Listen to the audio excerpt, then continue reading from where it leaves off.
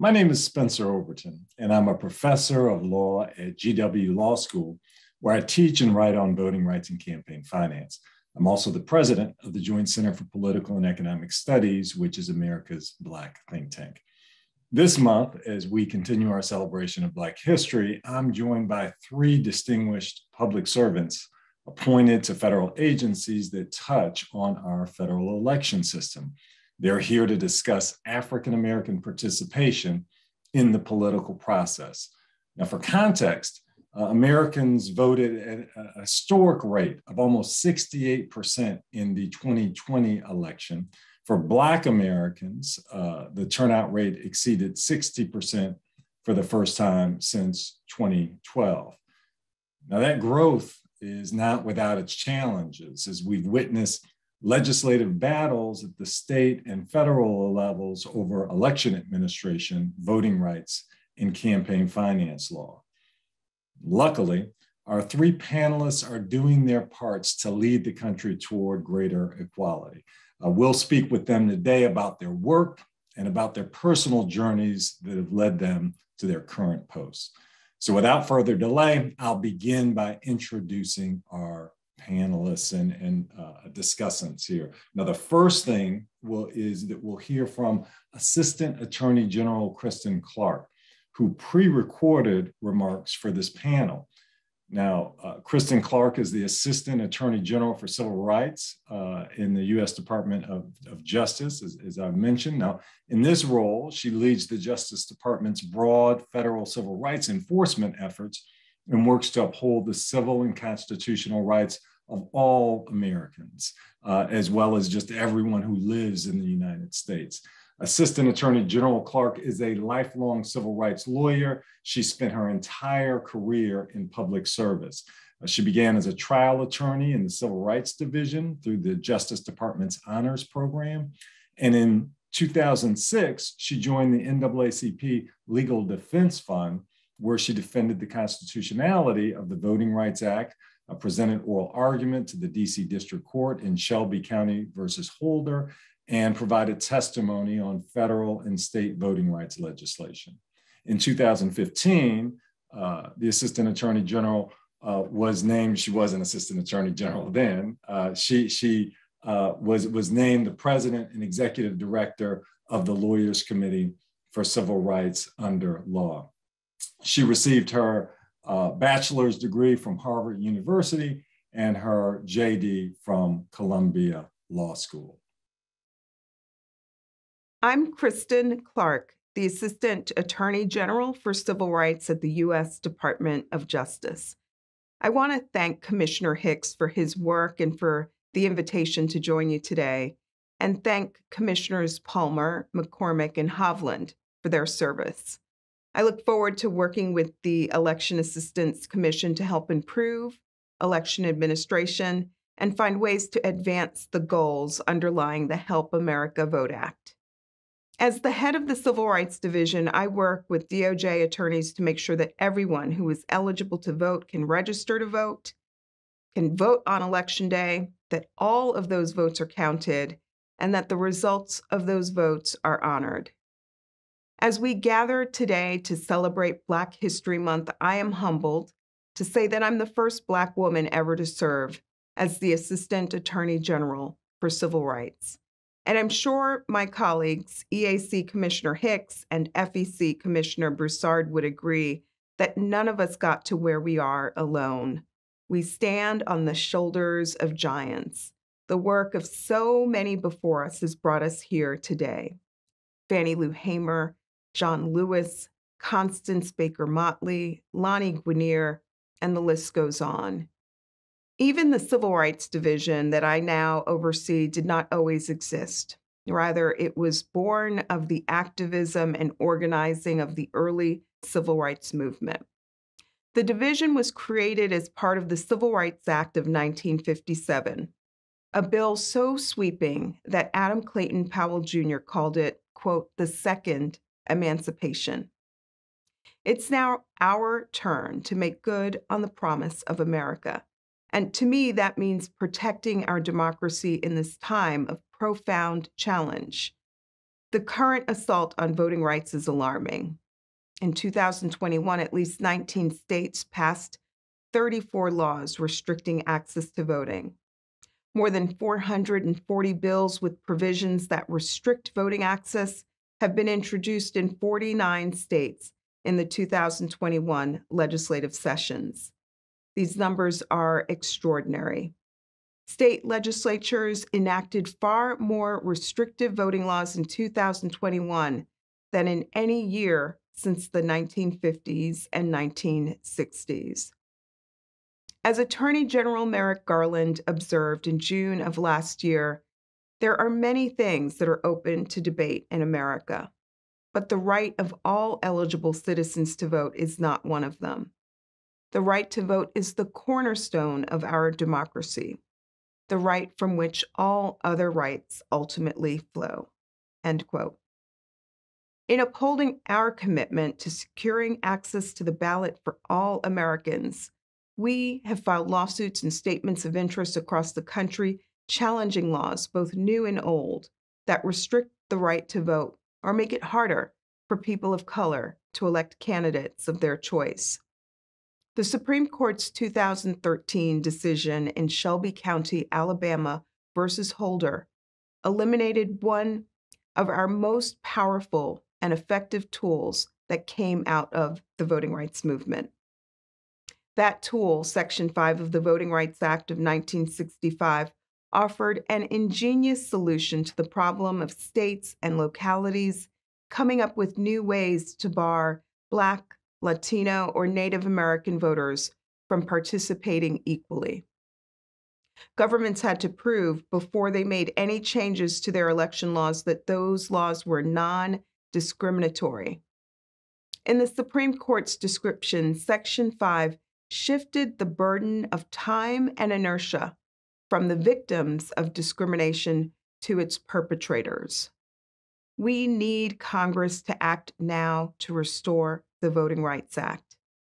But I hope that all of us will use this Black History Month to redouble our efforts to make real the promises underlying the 14th and 15th Amendments and press to enact robust and powerful tools for dealing with ongoing forms of voting discrimination today.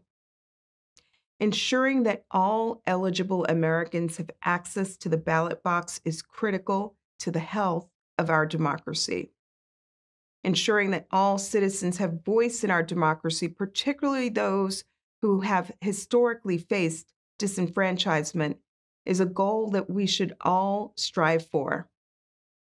In response to that era's attempt to restrict the vote, Dr. Dr. Martin Luther King Jr. organized at the Lincoln Memorial to deliver his famous Give Us the Ballot speech. And in that speech, he acknowledged that voting alone isn't enough, that we must use that power and turn it into real change. But he also knew that without the power to vote, democracy dies.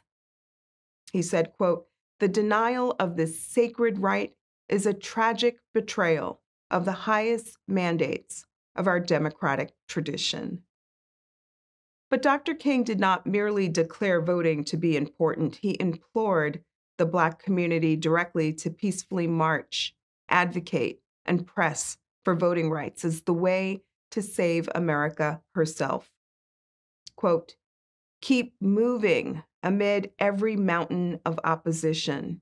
If you will do that, when the history books are written in the future, the historians will have to look back and say, there lived a great people, a people who injected new meaning into the veins of civilization, a people which stood up with dignity and honor and saved civilization in her darkest hour.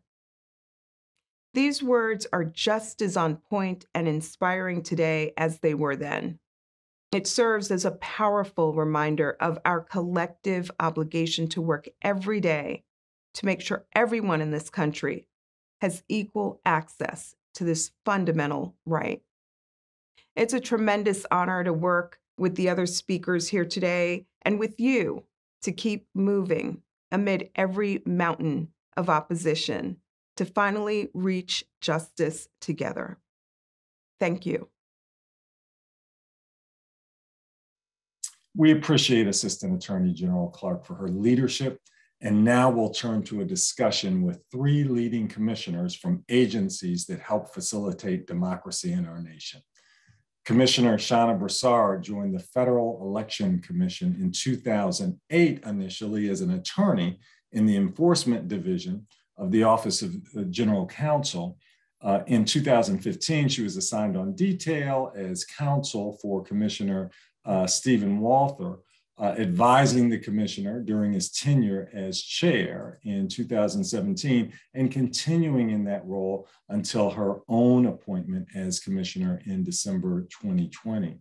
Now, Commissioner Broussard was previously uh, an attorney advisor at the IRS uh, Office of Professional Responsibility and Deputy Disciplinary Counsel at the Louisiana Attorney Disciplinary Board. She also worked as a New Orleans Assistant uh, District Attorney and was appointed in that role to the Violent Offenders Strike Force. Commissioner Broussard is a proud alumna of two historically Black universities, uh, earning her BA from Dillard University and her JD uh, cum laude from Southern University uh, Law Center uh, as, a, as a graduate of, of Hampton University. I'm, I'm both proud of her and also have a little bit of a rivalry, uh, of course, with her. Uh, she's an active member of Delta Sigma Theta sorority, and she's focused on making a positive impact on the Northern Virginia community. Debo Adegbile is a commissioner on the US Commission on Civil Rights where he's served since 2016. He's also a partner at Wilmer Cutler, uh, uh, Pickering, Hale, and Dorr, which I think now we often call Wilmer Hale. Uh, that's a position he's held since 2014. He previously served as senior counsel to the chair of the US Senate Judiciary Committee. And before being on Capitol Hill, he held several leadership roles at the NAACP Legal Defense and Educational Fund, including acting president and director of litigation. Now, during his time at LDF, Commissioner Adegbile argued two of the most significant civil rights cases in decades before the US Supreme Court. Northwest Austin Municipal Utility District number one versus Holder, uh, and then also Shelby County uh, versus Holder. Commissioner Adegbile received a BA from Connecticut College and a JD from NYU uh, School of Law. Finally, we're joined by Commissioner Thomas Hicks of the US Election Assistance Commission.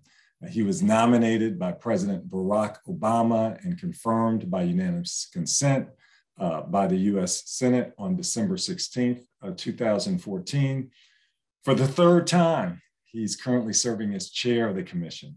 Now, under his leadership, Chairman Hicks has focused his efforts on voter access, leading the commission in developing a, a pocket sized voter card in braille and large print for voters with disabilities. Uh, previously, Commissioner Hicks was senior elections counsel and minority elections counsel on the US House of Representatives Committee on House Administration. He was also a senior lobbyist and policy analyst for Common Cause and served in the Office of Congressional Relations for the Office of Personnel Management in the Clinton administration. Commissioner Hicks received his JD from Catholic University of America, Columbus School of Law, and his BA in government from another HBCU, uh, Clark uh, University uh, here. Now, I'll turn it over to the commissioners uh, uh, for some brief remarks before returning with a roundtable discussion. Uh, let's begin with Commissioner Hicks. Thank you.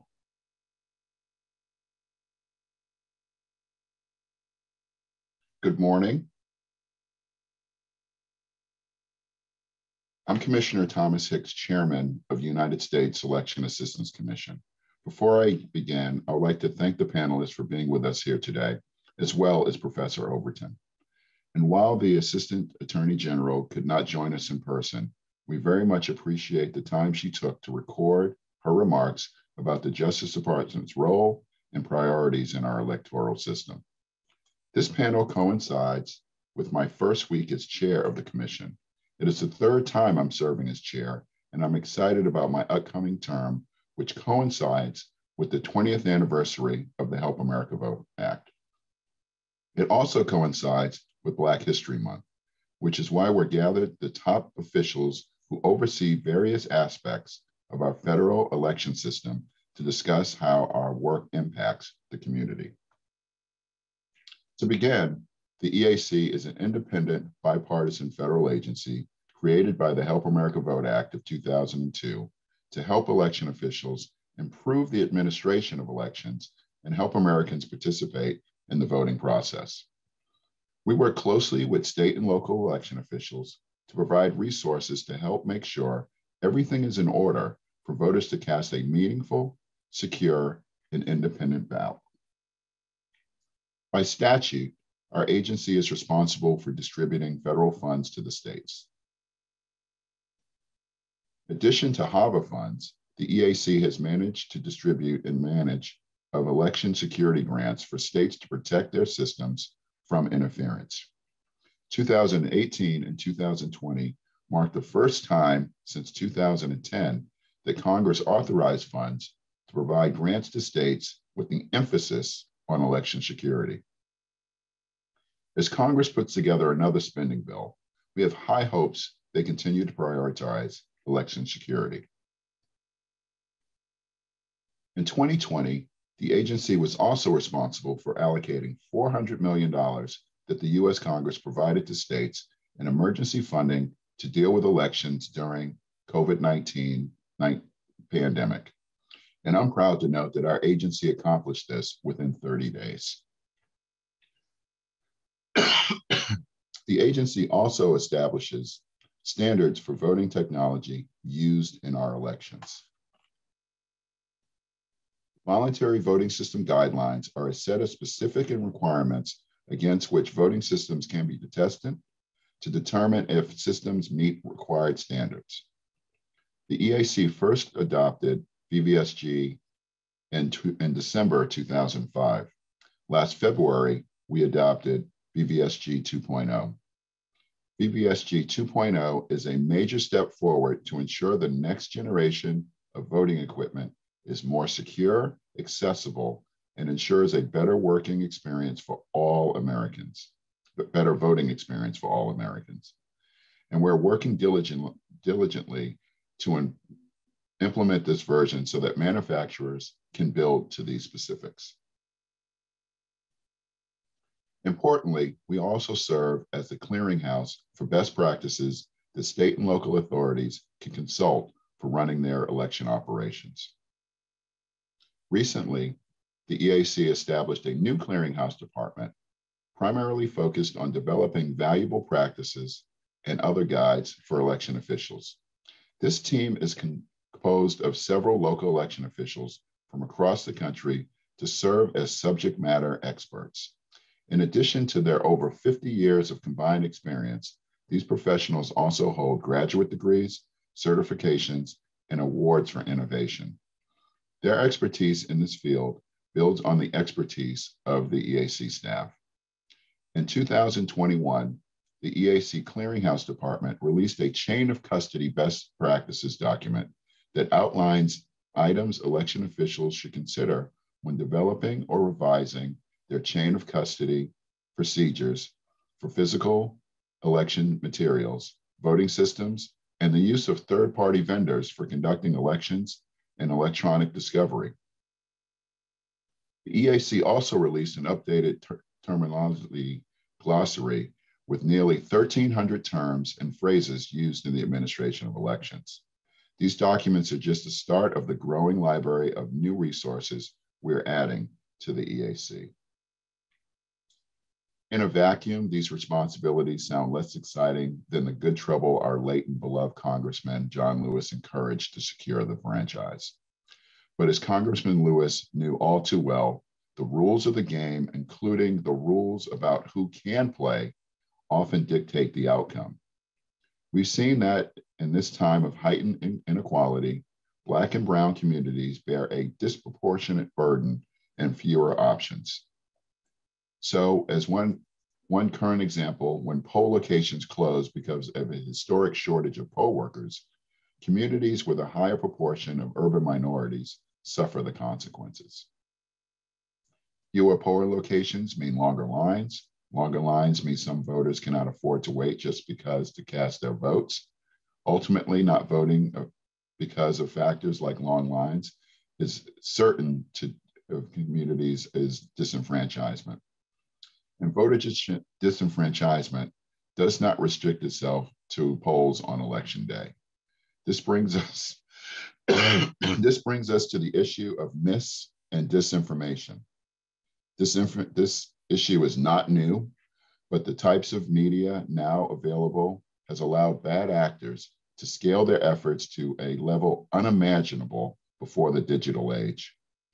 The influence campaign that penetrated the 2016 and 2020 elections season seemed succeeded not only because of the wide availability of online tools, but because bad actors took advantage of the lack of social media literacy by users to spread mis and disinformation with just the click of a mouse. While there is certainly a level of individual responsibility tied to social media literacy, social media companies and the tech sector more generally acknowledged in testimony before the US Congress that they were late to recognize that these threats and establish guardrails to protect users. Similarly, government, the media, and civic engagement organizations had a role to educate the public about these threats. And that's where our agency, alongside other federal partners, state and local governments, seems to make the difference. On January 25th, we launched National Poll Worker Recruitment Day, to recruit a new generation of poll workers to step up as older generations of poll workers were encouraged to, or decided to stay home safe from the virus during the 2020 election. National Voter Registration Day also returns September 22nd. This is not only an effort to register new voters, but to encourage every eligible voter to check their registration information and make sure that it's up to date.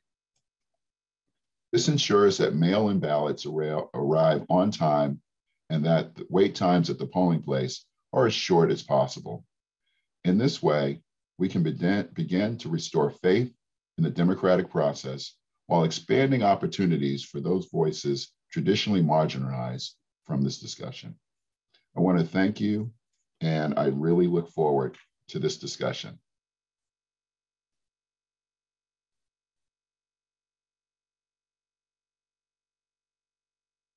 Back to you, uh, Professor Overton. And now we'll turn to Commissioner Broussard. Commissioner Broussard? Unmuting works in this atmosphere. I want to say good morning. Um, good morning to everyone, and thank you to Chairman Hicks and his staff for gathering this panel as part of the EAC's Black History Month celebrations. As a commissioner with the Federal Election Commission, I am happy to speak on current issues within campaign finance law and its impact on the African American community and on other groups. Diversity is a fact in our country. Our nation includes people with different backgrounds, experiences, and perspectives. But as the first African American commissioner in the commission's near 50 year existence, I know that diversity in all quarters is not automatic or guaranteed. I believe it is essential for our elected governing bodies to reflect the diversity of our nation. And I know that it requires a persistent commitment and effort for those of us empowered to oversee and administer the electoral process to ensure that the right to vote and the opportunity to run for elected office are protected for all Americans. So I am here as a representative or a member as the FEC, and you may ask, what is the FEC and what role does it play in the election system? The commission was created after the, in the aftermath of the Watergate political scandal. Congress recognized that a properly functioning democracy requires a well-informed public and that citizens should know how money is used to influence elections before casting their votes. The Commission has exclusive jurisdiction over the civil enforcement of federal campaign finance laws. Now, personally, I view our mission at the FEC as strengthening our democracy and protecting the integrity of the federal campaign process by the federal campaign finance process by one, providing transparency to the public about money used in federal elections, and two, fairly administering, enforcing and administering our federal campaign finance laws.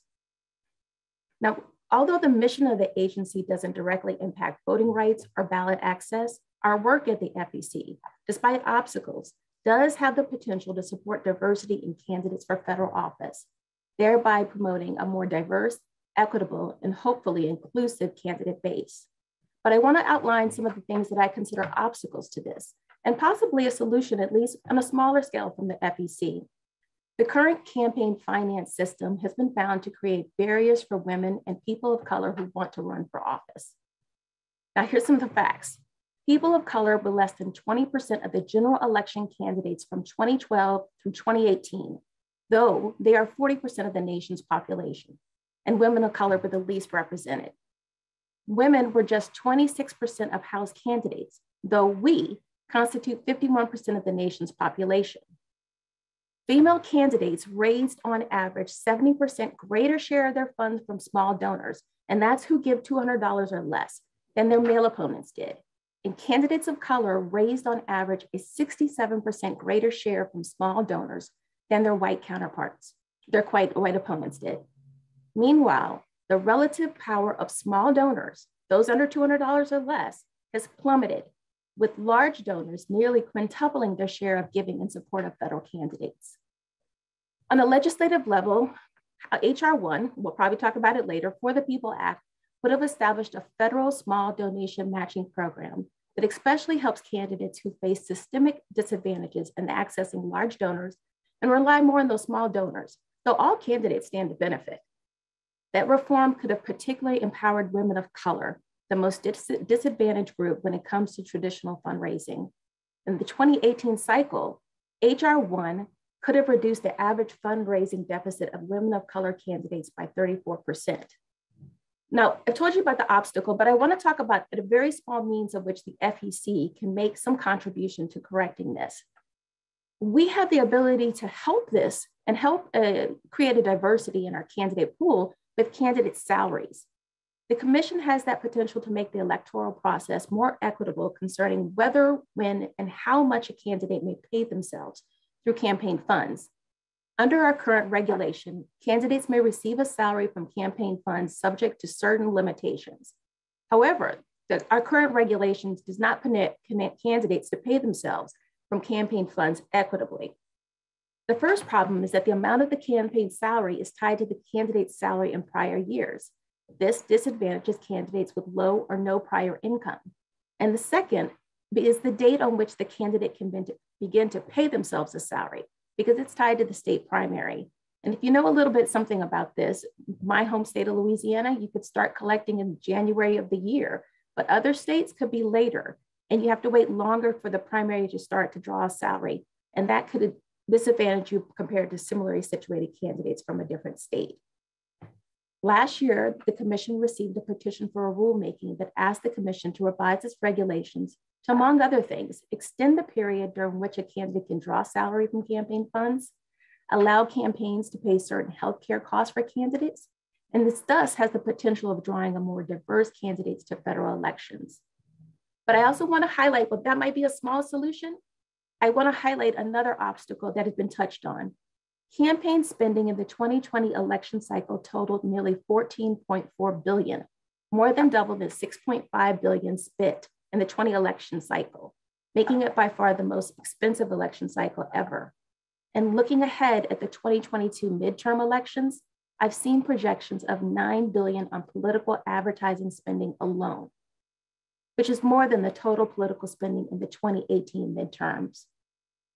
These extraordinary amounts should come as no surprise to anyone. The amount of money spent on federal elections has exploded over the decade, and it's going to continue to rise.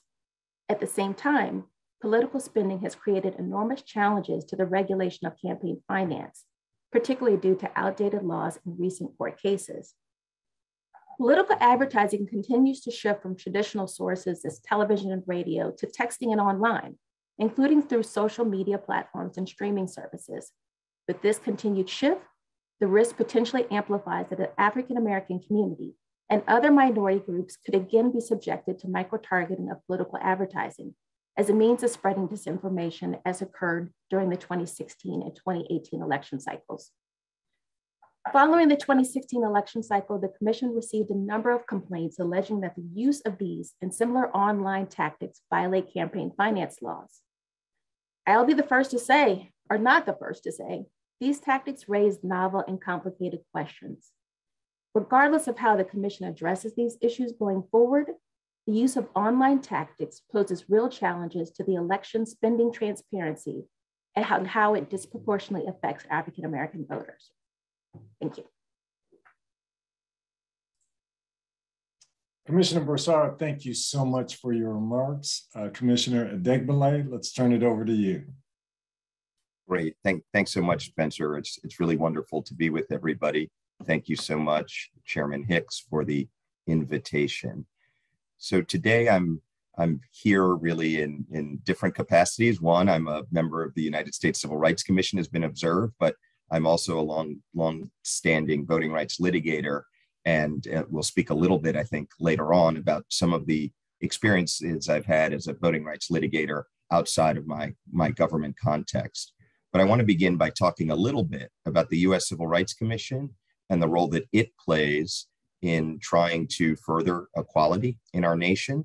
And um, that is not only in the area of voting, though voting has been one of the touchstone issues of the United States Civil Rights Commission since its inception. The origin story of the uh, US Civil Rights Commission began in 1957 as part of the Civil Rights Act of 1957. The commission was created, and it was created as a civil rights investigative body and watchdog and advisory body. The idea was that there were serious civil rights issues that were manifest and playing out in different ways across the nation. And there was a need to essentially come to have a deeper understanding about what was happening and what some of the responses might be, legislatively and otherwise, for the president and Congress. And so this, the US Civil Rights Commission comes out of that moment, that key moment in the history of the nation, and at that pivotal moment in the quest for greater civil rights. The charge is broad, although it's not an enforcement agency, um, al- although we don't have legislative making power, we, we do have the directive to look at civil rights broadly across the federal government and throughout the nation. We do that in several ways. The primary way is that we conduct hearings on specific civil rights issues.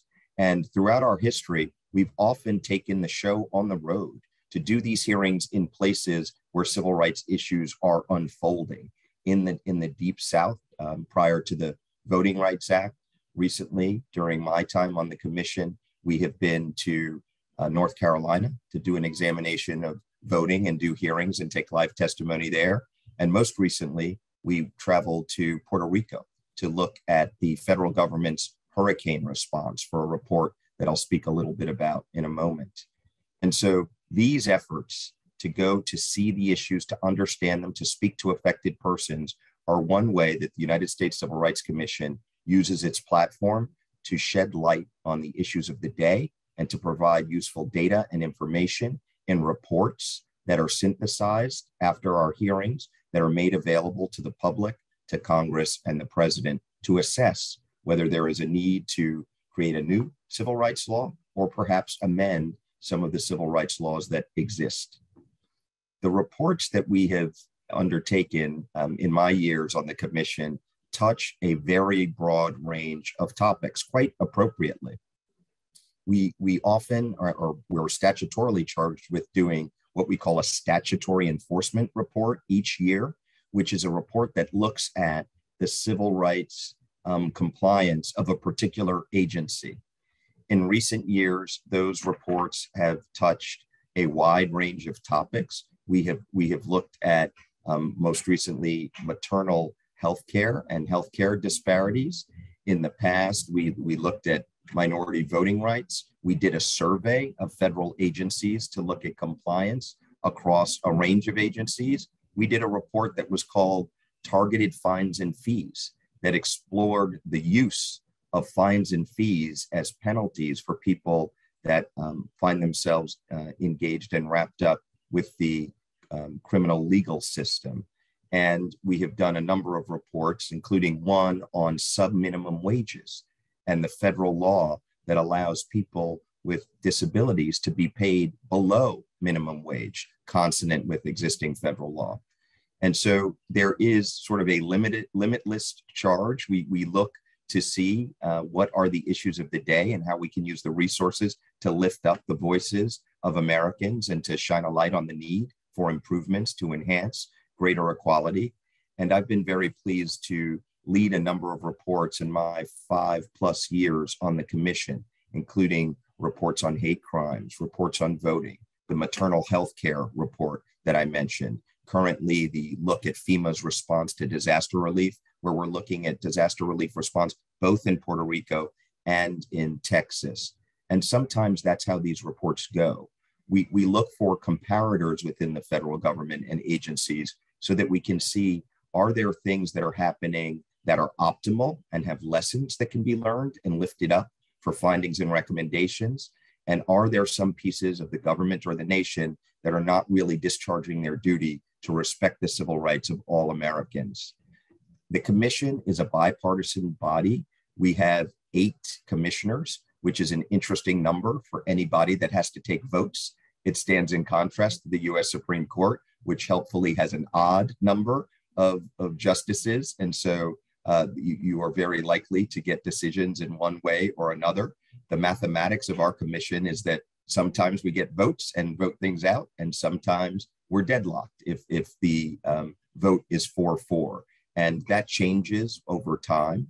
The president appoints four of the commissioners, and Congress appoints four of the commissioners.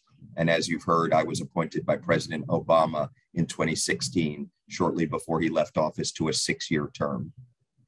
It's been a great pleasure to serve on the U.S. Civil Rights Commission. My path and understanding about it is, is part of a story of um, Black civil servants in a way that I want to share briefly as I close with my opening remarks. I learned about the good work of the U.S. Civil Rights Commission from my first legal mentor, the late, great A. Leon Higginbotham Jr., who was one of the nation's first Black federal judges he was the chief judge of the Third Circuit Court of Appeals. He was a distinguished professor at many of our leading uh, universities, graduate programs, and law schools. I had the good fortune to study under him when I was at NYU Law School, and he became somebody who was a role model, somebody whose career as a leader in public service and the fight for equality I took to be exemplary. And I actually made my early career choices largely to follow him around much like a new puppy follows an owner around. I wanted to soak up all that I could from this great and generous spirit, from this brilliant lawyer and judge, and to learn from his writings and his experiences on the bench and his experiences as a litigator. And President Jimmy, uh, President um, Bill Clinton appointed him to the United States Civil Rights Commission. And as I worked with the judge on my first voting cases, first as a summer associate and then an associate, we got to develop a very close relationship.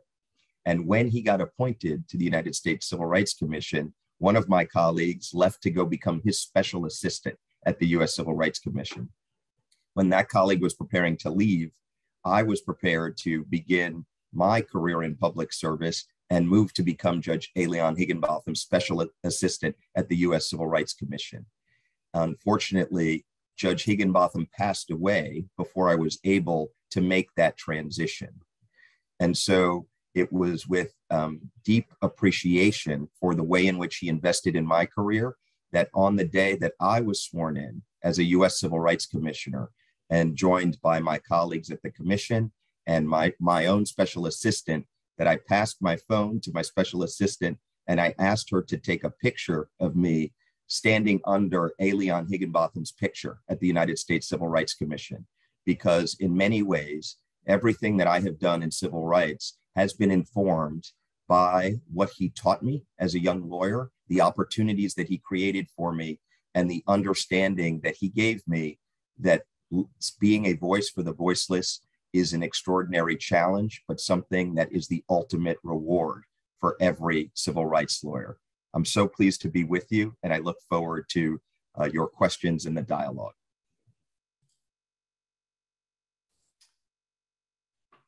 Thank you so much, Debo.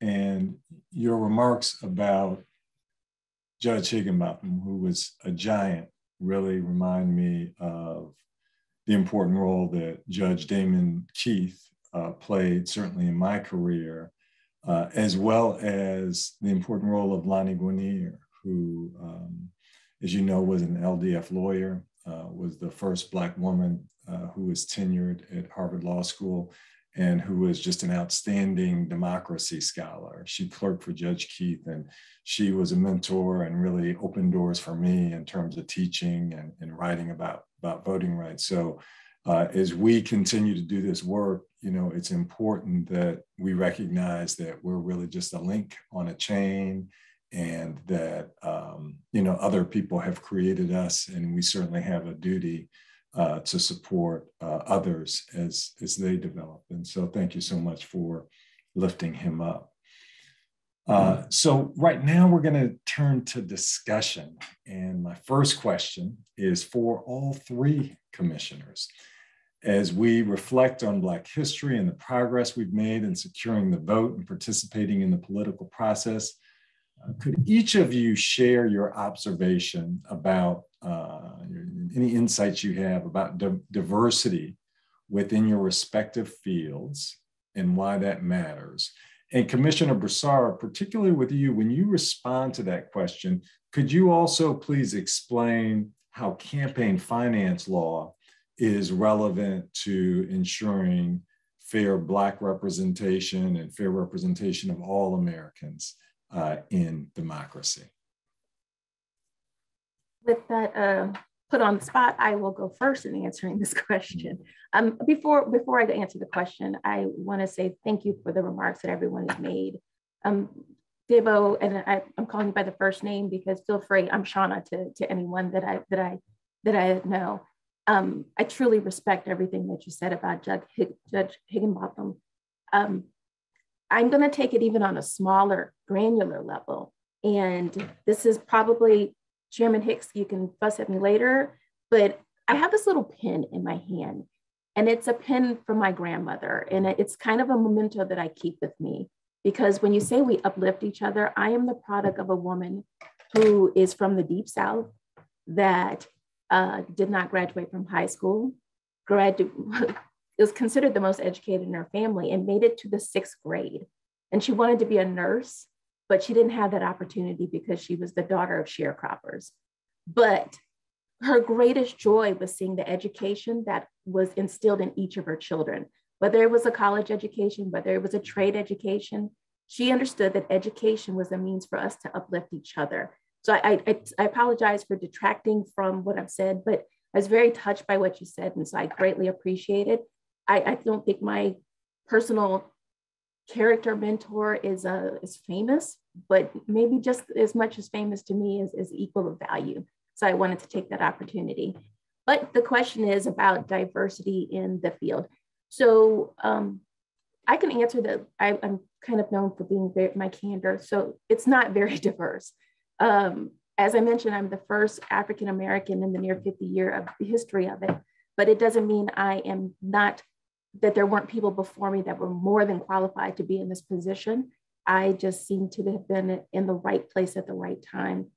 It's important because diversity in the federal campaign finance process, uh, this is where the money comes in for the campaign. So we have, uh, you know, the chairman is actually talking about the election process when you go to register your votes. I deal with the money that is spent by the candidates in support and opposition of those candidates. And one of the things that's really important, and I mentioned it, and uh, is that money gets notice. Um, money is discourse. Uh, money also promotes disclosure. And money, with the lack of, which is often the case that's happening for minority candidates, um, means that you're dealing with small dollars, but you're not dealing with the support from larger PACs. You're not dealing with the support for political advertising and spending, it puts this individual or, or people of color candidates at a disadvantage. So it decreases the opportunity for greater representation. And without greater representation, there is no opportunity for the, to build the equity or the continued diversity that we're looking for in our political system. You know, America's diverse. we are an example of it just right now. We are just a small segment of it. And without having the adequate means to be able to run for office, then you do not have the ability to have the real diversity that this country should have in its representation. Thank you. Commissioner Hicks uh, or Adegbile? Sure, I can go. Um, Commissioner Broussard, thank you for those remarks. Um, and um, I want to thank all three of you for your personal stories out there. Um, and it basically goes to shape us in the people that we are and the service that we give back to our country. And I think that those those um, aspects are huge. And um, the you know I, I still want to talk a little bit about my my parents and that how they shaped me to um, work in the public sector um, how my mom uh, served as a poll worker for a number of years until COVID happened. Um, was married to my father for over 50 years until his passing uh, in 2021. Um, but the the aspect of my dad that I always think about is the fact that he didn't have the opportunities that I had to uh, get an education. Um, one of the smartest people I've ever met in my entire life but did not have those same opportunities. And in the realm of what can people do, and um, hopefully, you know, our agencies can get interns um, to to become mentors towards folks, or other aspects of corporations becoming um, having interns and, and moving forward with things. In 2020 and 2021, we saw corporations work towards uh, getting more poll workers out there and becoming more involved politically in terms of um, political participate in the in the process. And I hope that continues in a nonpartisan way. Um, and as we move towards the 2022 uh, general election, I'm hoping that we can um, have more participation in the process. And what's that mean? It means making sure that people's registrations are up to date, making sure that they know where to vote. Um, and um, one of the aspects that I, I constantly think back to is uh, Hurricane Sandy back in 2012. Why? Because first responders had to leave their homes a week before the election to take care of New York, Connecticut, um, in the Northeast, but maybe not have had an opportunity to cast their ballots. But legislation, excuse me, legislation was put out there, emergency legislation, to allow for them to cast their ballots.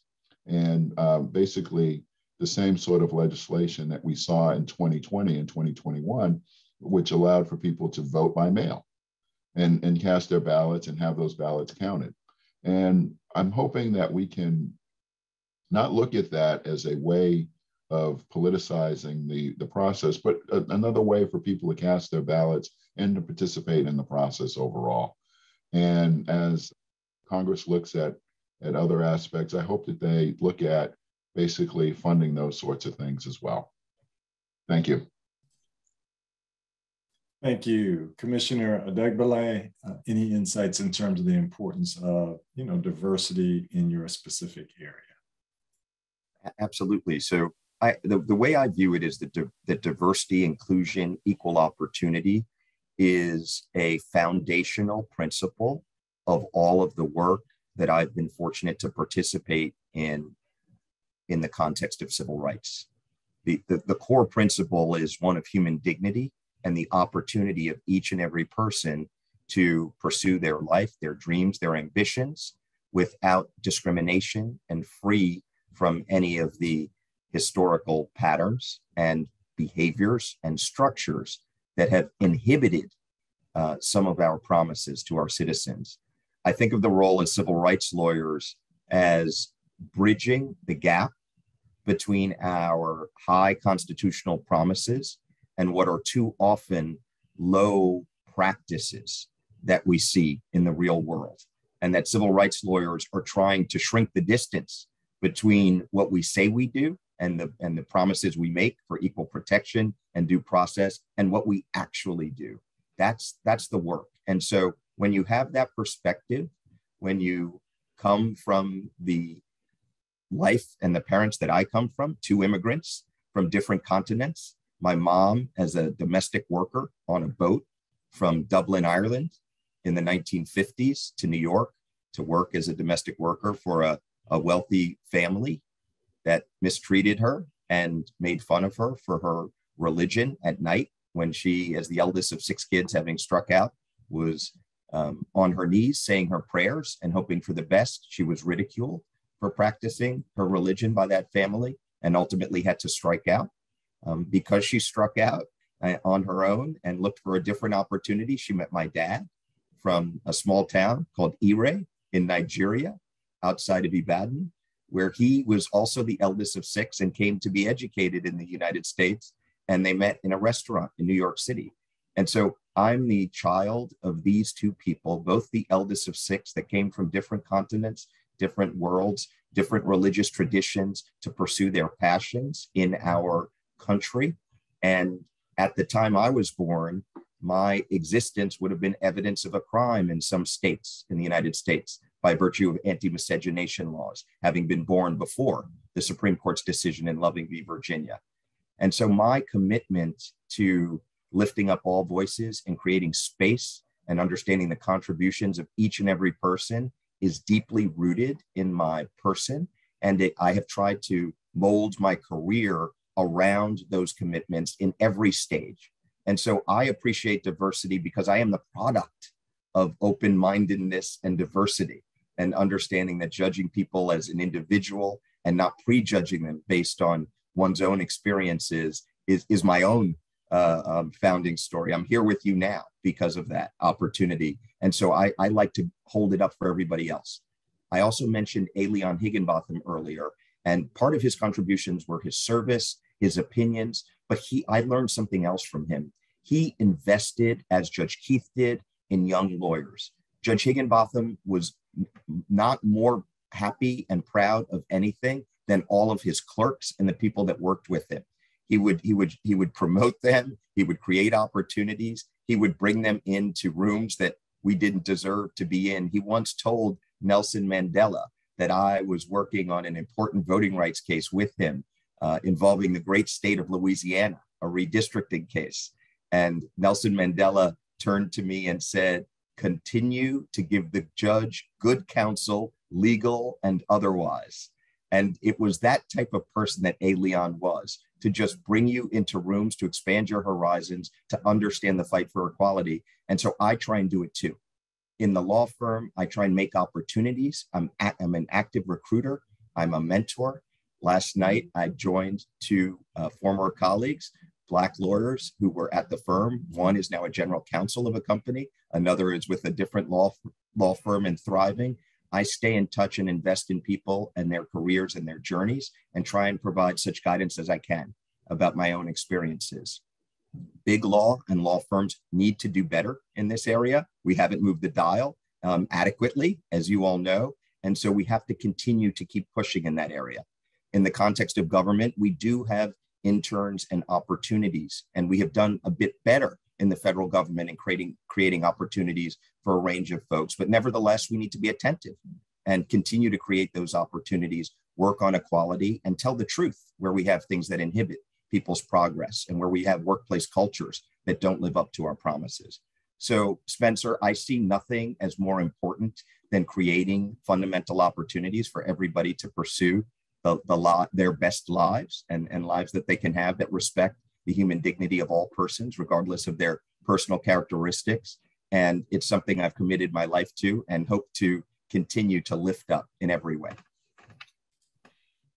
Thank you so much, uh, Commissioner. And you know, just to build on this, and this is so connected to both the legacy and the future of Black History Month. Uh, just this concept that yes, we're all working to make our contribution in terms of our democracy, in terms of civil rights. We want to do a good job. We want to create our masterpiece. But just this, you know, this Mr. Holland's opus scenario and, concept where uh, we have gained so much from people who are, have come before us and you know our, our, our real kind of masterpiece and our real contribution being the investments uh, in other other people recognizing that this journey that we're on will not end with us uh, and and will continue. Uh, and it's so easy to get caught up in the hamster wheel and kind of the rat race and going through the to-do list and just really important uh, in terms of this theme of investing in, in, in others and holding others up. So uh, appreciate your, your continued focus on that theme. It's so relevant uh, in terms of this month. Um, Commissioner Hicks, you discussed some of the adjustments state and local jurisdictions took to keep voters and election workers safe did any specifics develop did any specific developments have more of an impact with regard to African American communities? I think that uh, for the most part, one of the biggest um, added features for the African American community was the vote by mail um, expansion. Um, for the, traditionally, um, more African Americans are working in jobs that are not office based uh, for the most part. So um, when folks are having to um, make a decision on whether or not to pick up the children or stand in line for two more hours to cast their ballot, um, those are alleviated when folks can cast their ballot at home, put it in a mailbox, hand it to the mailman, mailwoman, um, cast their votes and have those votes counted and have their voices heard. Um, you, cite, you uh, cited a statistic of about how uh, the participation of African Americans in 2020 was at its highest level since 2012 uh, at over 60%. And I think that that's a di- direct correlation of being allowed to cast your ballot in more than one way. It's not a um, it's been around since the Civil War. Um, it's it's it's been vetted. It's been um, made sure that it's uh, legit, and um, there are safeguards that are put in place. Um, so I think that that's one of the added aspects. Another was the funding of uh, the CARES Act to ensure that uh, those folks who decided to vote in person could do so safely with um, PPEs uh, and being at a distance. Um, and for the um, larger facilities, in order to cast ballots, basically um, arenas and, and so forth. Uh, so I think those are two transitional pieces that that helped a lot in terms of for the African American participation in the um, elections in 2020. And I think what's really interesting about that is before this election cycle, vote by mail was very prominent in states like Oregon and Washington that didn't have relatively high numbers of African Americans compared to some other other states. So we didn't have this this kind of history there. And also there were some places like Florida and Georgia, where data suggested that some local election officials were more likely to throw out ballots, uh, mail ballots from Black folks than, than white folks, like 3% versus 1%. And so there was some concern, but I agree with you that it was transformational with regard to African American participation. And unfortunately, right now, a number of states are, are actually, now that, that Black folks are using this, some states are trying to, to change laws uh, to add additional restrictions to uh, vote by mail uh, when it's been a perfectly safe and uh, um, you know tool in terms of uh, expanding access. You know, we think about Starbucks and we think about Amazon and so many things in the commercial realm where the objective is to make participation uh, accessible and make it easier for people to participate. And, and this being an area where, unfortunately, uh, there have been uh, some, some restrictions that aren't that aren't based in, in evidence or, or a need here. So uh, Commissioner Broussard, let me, let me turn to you in terms of the perceived tension between disclosure and First Amendment rights at the, at the core of campaign finance law. How do you balance these two interests in the context of African American communities and you know other communities of color, uh, you know their participation in the electoral process? Um, thank you for the question. Um, the first answer is there is a tension, um, but robust disclosure and First Amendment rights can and should exist in tandem. Um, the right to vote has to be buttressed with access to information about candidates, their positions on issues, um, to what interest groups and interests or groups they're beholden. Um, because we're all familiar with, with the phrase, sunlight is the best of disinfectants. So at the same time, while there's been repeated and pervasive examples of Black and other racial minority voices being silenced, it's ostensibly done oftentimes through legal means. So I think in those instances, the First Amendment can be an important check on the state. And we have to look at some of the Supreme Court cases in AA versus, uh, versus Alabama.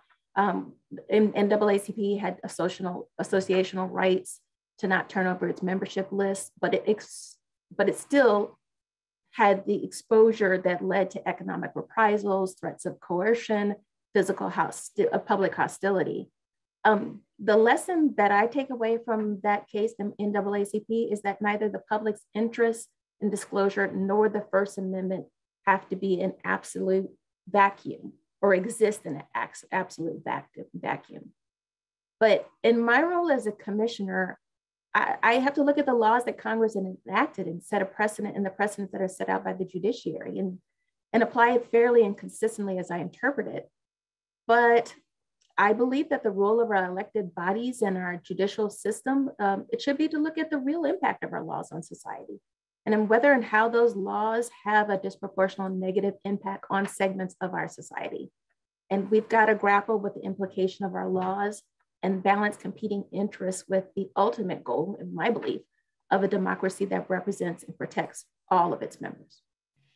Right. And, and also just context, you know, the context of disclosure of lists of members of the NAACP resulting in uh, violence uh, toward those individuals is completely different. Uh, Facebook to disclose that Russian paying for ads folks targeted at, at Black communities, encouraging them that so this concept of text with regard to disclosure is uh, is incredibly important.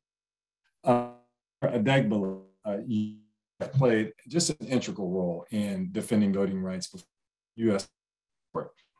Uh, now, following a decision month, and, and let me just stop this here for a second. I'm sorry. I mean, uh, I, barely get to go in as an audience member in the US Supreme Court, and you can't imagine how much pride uh, that I have, you know, seeing you up there arguing, making the case, knocking it out of the park, doing a great job. So I just want to say that, you know, these are not uh, unwarranted platitudes uh, here. Just kind of take a take a moment to, to do that uh, here. You, you've just, uh, you know, just done an outstanding job uh, articulating the perspective of the civil rights community and making these arguments in our generation. You know, you really have been a voice of a generation in terms of uh, civil rights in, in the court uh, here. So now, following a decision earlier this month that challenged Alabama's congressional redistricting map, it looks like the court will issue another blockbuster decision in the next term. Uh, can you talk about the court's decision earlier this month and, and, and what's at stake in this case? absolutely, Spencer, and, and thanks so much for your kind words. I think we we all try and run our lap the best way we can, and um, as we've been discussing, we hold each other up and we sharpen our skills um, by engaging with colleagues and to, to have an opportunity to be in the fights that matter is uh, is is the reason I went to law school. So thank you so so much for your your your kindness. Uh, so this Supreme Court case um, that was really not a it was not a it's not a full case yet. It's actually a motion for um, a, a type of emergency relief growing out of a challenge to Alabama's redistricting map, congressional redistricting map. And why is this important? It's important for several reasons. First, uh, it, the Voting Rights Act is, sort of a product of many things, but it's certainly a product of the experience of Black disenfranchisement in Alabama. There, there's a reason why Lyndon Johnson went to a joint session of Congress after the Selma to Montgomery March to announce that he was proposing a federal voting rights bill. and the work that the Voting Rights Act has done in really instilling in federal law a minority inclusion principle that was consonant with the objectives of the 15th Amendment after the Civil War. The, the Reconstruction Amendments are called Reconstruction Amendments because it was an effort to rebuild, many say to build for the first time, an inclusive democracy that was going to treat all citizens equally. But between the period of those amendments after the Civil War and the Voting Rights Act, it was honored in the breach. Uh, Black people were excluded from participation in our democracy. The Voting Rights Act was the mechanism of taking that promise seriously, of closing the gap, as I spoke of earlier. And this case out of Alabama uh, arises in a context where the, the claim of the plaintiffs is that the redistricting map dilutes, weakens the political strength and voices of the Black residents of Alabama, despite a very significant Black population, the number of districts in which Black voters have opportunities to elect their preferred candidate in light of the continuing levels of so called racially polarized voting, um, people that won't vote across race for qualified candidates um, because race is still a feature of our political systems. It, it means that how districts are drawn can determine the outcome of who can be elected without regard to their qualifications. Mm-hmm. And so, how those lines are drawn after each census matters a lot. It can be the difference between having a voice, having your political um, aspiration, and candidates have a shot to be elected or not.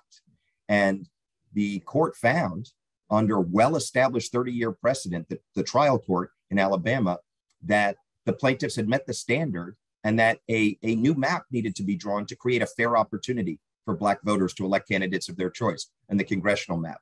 And the Supreme Court, essentially on a procedural emo- motion and a, and a special request for emergency relief, wiped away that ruling of the district court that in a lengthy opinion, properly applying the, the, the precedent that had been extant for more than 30 years on this concept of the change is too close in time to an election because the election was seven weeks or so hence. And so the court, in a sense, invoking a, a, a, an earlier court precedent called Purcell, said that the value of a degree of comity according the decision of the lawmakers um, effect is a value that we are going to elevate above the anti discrimination principle of the Voting Rights Act, and we will have to run that election under the map that has been adjudicated to violate minority voting rights under the Voting Rights Act, under settled precedent. And, and we will have to wait until after this round of election to mm-hmm. see if we can get a remedy, the consequence of which is that you're very likely to have candidates elected to office who would become incumbents that are elected under a map that very well may be ultimately found to discriminate against black voters. And so there's a tension here, Spencer, as you well know. So, so, so, Debo, let me ask you this: What do you say in response to the argument, the unstated argument, that we lifted up this principle because you know the world is different than it was in 1965. And because, if anything, um, you know, this is about politics rather than race, that this is about, you know, a Republican state legislature that might want to have fewer Democratic seats uh, rather than fewer Black seats. Uh, yeah, these arguments are, are often advanced and, and we, we, you know, we hear them frequently, but, but what we know is that there is an unbroken pattern in Alabama and elsewhere of using redistricting cycles and using various election laws to try and dilute the, the vote and to impose barriers to Black voters. The thing that hasn't changed is the pattern of targeting discriminatory laws and voting changes to weaken the voices and to impede Black voters. In, in one of the Supreme Court cases I argued, Spencer, I cited a case that uh, it was called the McGregor case out of Alabama. It was a case in which Alabama state legislators were wearing a wire uh, because there was a, a, there was an FBI sting going on about graft in the state legislature, and so the legislators were wearing wires to sort of um, ensnare their fellow members of the legislature in the context of big big um, gambling, trying to bring bingo to the to the black belt, right? And there was an there was some folks that wanted the um, gambling interest to come, and some folks who didn't. But what was caught on the wire that that that one of the heads of the legislature was wearing was that the reason he didn't want the ballot initiative about gambling to be on the ballot is because um, aborigines was the word he used and other negative terms to talk about black voter turnout how if this ballot initiative was on the ballot it would lead people to come out and vote and the person who himself was wearing the wire in the capitol in the you know in about 2014 or so is is making racist statements about black voters in Alabama. The federal judge disallowed his testimony about his fellow legislator and said that he has an independent reason, which is racism and discrimination and and holding down um, black voters' voices. And the reason we know this is because the man was wearing a wire being recorded speaking as he always speaks. And, and so when, when I hear people try and call it something else, you can call it whatever you like. What we know is that there has been a historical pattern of disadvantaging Black voters. And we know in the recent election, we saw various places where there was a focus to try and upset the election, various places where there were high concentrations of minority voters. And so, if partisanship is part of it, Perhaps that's part of it. But the, the real fact is that whatever happens, Black and Latinx voters are facing risks to their to their votes, and we see it play out time after time. Thank you. It's really amazing how wires and, and cameras and video just really kind of bring to life uh, a lot of, of things and, and, and, bring them to the, the fore, a number of things that uh, exist, but uh, some have denied. Um, so now this, this question is for all three commissioners. Um, the Senate recently failed to pass voting rights and election and campaign finance reform election in the in legislation that had been passed by the House, but was unable to make it through the, the Senate. Uh, in the absence, and, and, and, I'm sorry, with regard to that legislation, uh, there was majority support for it, but the filibuster was invoked and it could not survive a, uh, a filibuster, and there was not a support for filibuster reform. Now, in the absence of legislative action, how can your agencies make sure that voters, uh, especially African Americans and, and voters from other marginalized communities, can participate in the political process.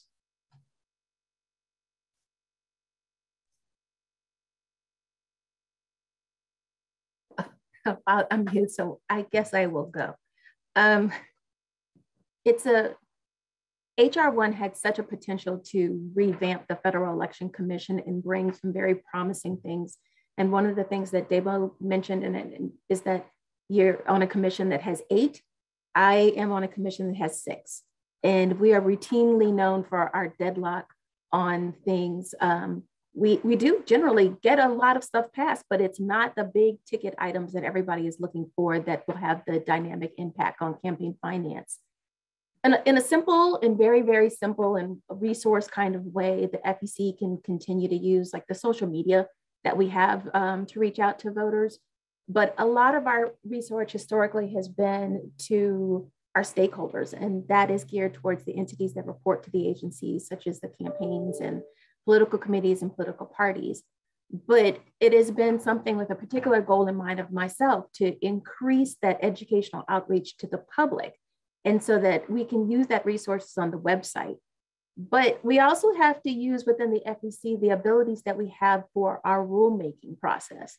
And we have the ability in that rulemaking process to look at what I already mentioned candidate salaries. This is a way to increase the political participation um, of minorities, of women, of all disadvantaged, disadvantaged individuals, uh, because these individuals are the small donors. Not, not always. We have seen instances within um, just the Georgia Senate elections where they have individuals that have the ability to raise large sums of money. A minority candidate, um, minority incumbent, has the ability to raise large funds but we have the ability through rulemaking to do something about that. One of the things that we've all kind of touched upon is the internet disclaimers, um, some type of internet disclaimers that could help to increase the knowledge about what is being done with the political advertising that we're seeing on social media. As, I said when I in the introduction, traditional media, which if I don't even know if we can call newspaper and TV ads traditional anymore because we're in the age of the internet, it, it's moving out and the money is being spent in the social media context, online and texting and things like that, which is why in this agency, we have to come up with ways to put disclaimers so that people can know who is responsible for the communications that are being presented to them. And the example that all of us have touched upon is the 2016 election. Disinformation, micro-targeting, and aggression. If there were some laws in place on a higher level, there would have been requirements for uh, organizations such as Facebook to disclose through catalogs how things are being spent. Um, but on a smaller level, we can start with our websites. I can work on the rulemaking. I am actively reaching out to my colleagues on the other side of the aisle to let's complete this rulemaking. It's been 10 years in the, in the making. And I can say that I continue to get interest on that side, but I will push it as hard as I can. So for the FEC, that's all I can say. Thank you. From a EAC perspective, one of the um, issues that I see that we have been able to help marginalized communities is with voters who have disabilities. And with the passage of the Voluntary Voting System Guidelines 2.0, um, um, embarked on it, hopefully with the implementation of it, to ensure that they can still vote. The folks who have disabilities can still vote independently and privately, uh, but with a more secure um, machinery. Um, in terms of things that other aspects of it, for African Americans, um, one of the things that we would say to any person is to check your voter registration with um, vote purges and so forth. We want to ensure that if you check ahead of time, you can fix any sort of problems that may occur before you get to the polling place um, and rectify those issues so that you can cast a ballot and have that ballot counted accurately. Um, the other aspect that I would say is to the expansion of serving as a poll worker. Um, there's been a lot of disinformation out there about what happens in a polling place. If someone is serving as a poll worker, they see it from the inside and they get a better understanding of how the process works. And so if you are actually part of the process and, and part of the solution, there's less of an opportunity for folks to meddle with those issues. So thank you.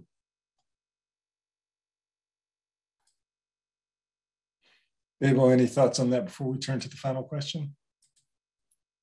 Well, our, our role, as I've mentioned, is, is largely to describe the, the circumstances and the need for um, legislation and responses based on the experience that American voters face. And my hope and expectation is that the commission will continue to shine a light, use the light of disinfectant, as Commissioner Broussard has, has mentioned, to continue the need. Very often, legislative efforts are iterative and it takes time to till the field so that when there's a window of opportunity, uh, there can be a legislative breakthrough. And part of it is having facts and an understanding about what the very real challenges are for voters and minority voters in particular. Thank you so much. As we conclude, could you each share your thoughts on how to both remove unnecessary barriers and encourage more African Americans and, um, and other underrepresented communities to participate in the electoral process.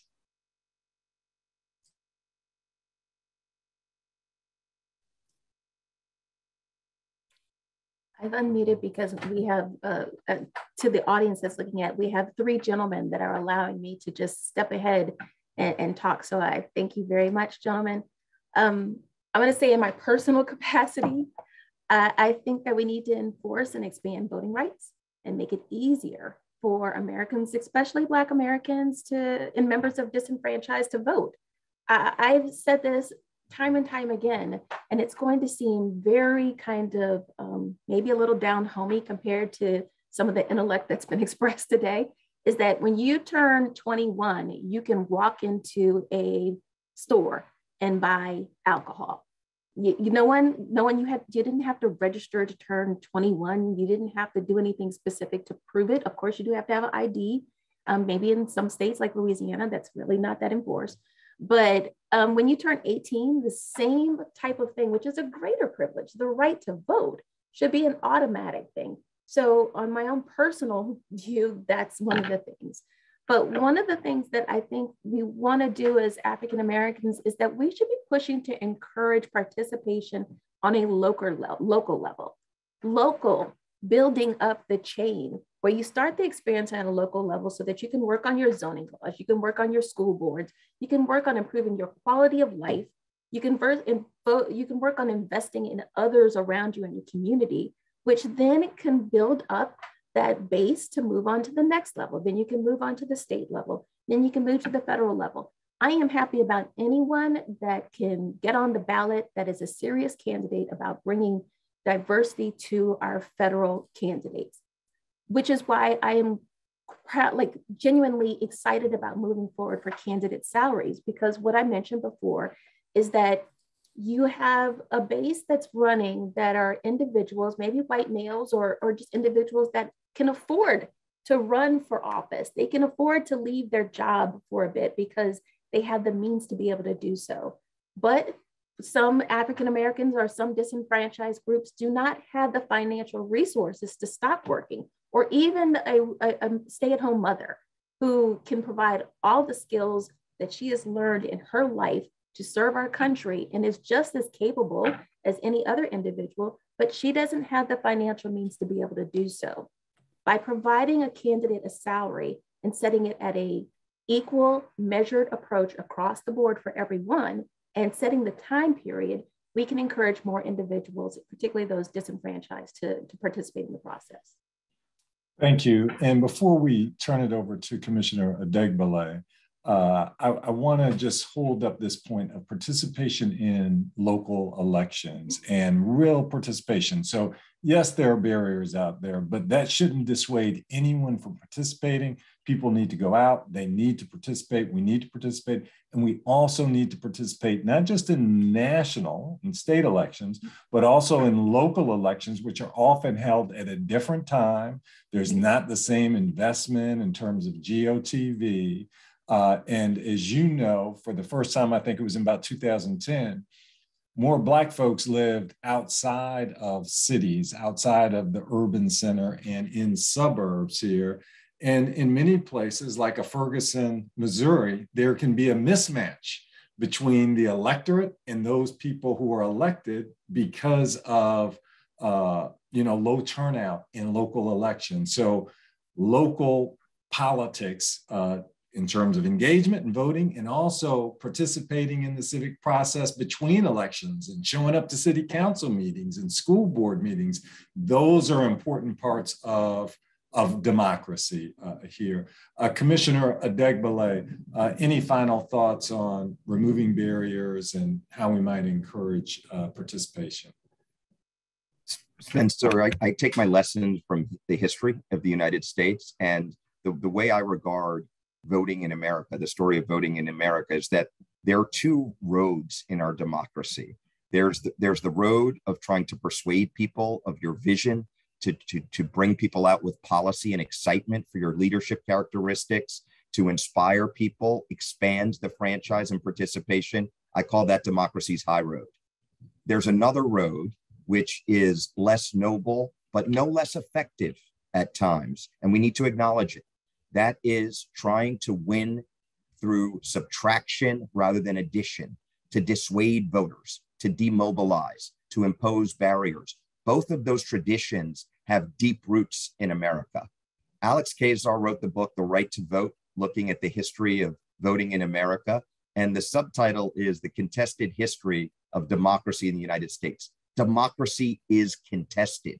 It's a fight to pick a road, the high road of democracy through addition and expansion, or the low road of democracy through subtraction speaking again now as I have been in the Q&A in my personal capacity, this is how I see it. In the autobiography of Frederick Douglass, he said that he learned something important when his master chastised his wife because he learned that his wife was teaching Frederick Douglass how to read. And the response was so extraordinary that Frederick Douglass understood that that was exactly the thing he needed to do. He needed to learn to read because if there was such fear about the power he would have if he could read, that was the very thing he needed to do. I say to Black America, I say to the folks that want to be on the right road, if there are so many people trying to deprive you of your voice and demobilize you and not get you to participate, learn the lesson of Frederick Douglass. Each of us have power to have our voices expressed. That's what the country requires. And so this is what the civic organizations need to do. How about a U plus two campaign?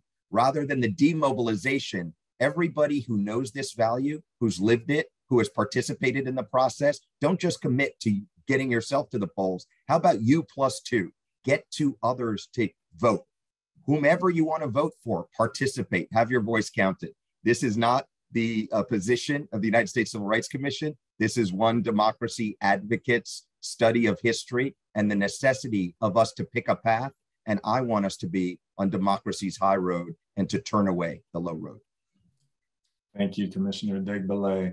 Commissioner Hicks. I want to echo my fellow panelists and thank them for their remarks. Um, in my thought of how to encourage more folks to participate in the process, I look back to uh, John Lewis, who I worked with when I was a staffer on Capitol Hill, and, and had the opportunity to introduce him to a couple of uh, intern lecture series and hear his story over and over again about how he um, tried to march just across a bridge to exercise his right to vote and to express his, his um, desire for expression and was beaten basically near death um, and to think back on how good we have it in terms of I could cast a ballot that's delivered to my front door and put in my mailbox, or just to walk down the street and cast my ballot. That's something that I will do as long as I can. Uh, one of the things that I encourage folks to do is to uh, take their children with them when they vote uh, for the states that allow for you to have other people with you in a ballot in a polling place um, to show them that it's okay. My mother took me uh, when I was nine, 10 years old to uh, cast her first ballot. And I had the opportunity to tell the story to uh, President Carter about how my mother uh, in her early 30s, early uh, late late 30s or so, was um, able to cast a ballot for the first time, um, and um, cast it for him for president, and um, had me uh, to witness her do that, um, and that was just truly amazing to me. So I've um, taken my children with me to the ballot box uh, so that they could see me cast my ballot. And um, those of you who don't have kids, take your nieces and nephews or, um, or, or someone else uh, to show them that this is something that they should do and participate in because it, studies have shown that once people start voting from the first time at 18, they're more likely to continue on casting their votes. If someone starts in their 40s or 50s, they've missed a number of opportunities, but they're less likely to cast that ballot for those local races and so forth. So I would encourage that. Um, the other thing that I would say is uh, hopefully um, we have more uh, dialogue to, that, that have in more diverse candidates. Um, there's been a lot of talk about um, just basically participation, and I, I hope to have more participation. My goal is 100% eligibility for folks who are able to cast their votes to actually cast their votes.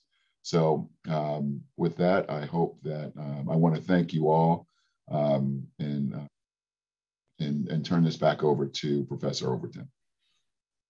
Thank you, Commissioner Hicks. And just building on your very important point, it really is important that we stand up against graphic and, and violent attacks on democracy, whether that's on the Edmund Pettus Bridge or the you know January 6th insurrection in an attempt to overthrow an election, you know, or uh, more subtle uh, forms that might prevent people, for example, from registering in Selma, Alabama, or prevent voters from being given water or food who are standing in long lines.